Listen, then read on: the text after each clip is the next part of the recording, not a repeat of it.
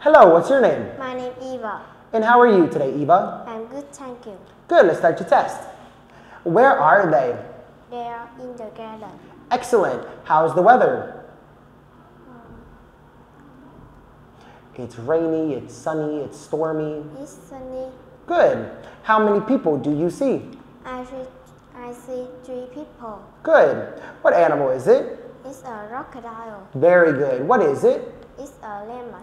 Are lemons sweet or sour? Sour. Excellent. What is it? It's a dress. Good. It's a dress. Do you like to wear dresses? Yes, I do. Good. What is it? It's, it's handbag. Excellent. What can you keep in a handbag? It's iPhone and money. Good. What is it? It's a iPhone. So, what can you do on a phone? It's like game. You did a very good job. You may now sit down.